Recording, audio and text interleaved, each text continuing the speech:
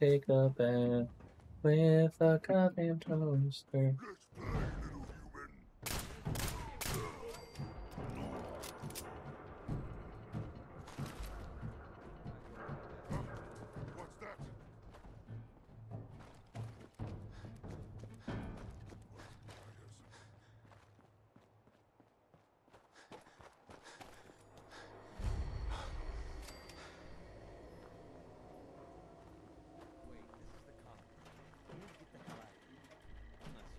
like being killed.